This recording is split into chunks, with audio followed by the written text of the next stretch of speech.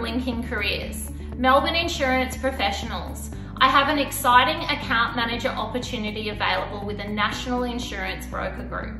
Working closely with a highly experienced account director, you'll have the opportunity to be mentored and to develop your skills further.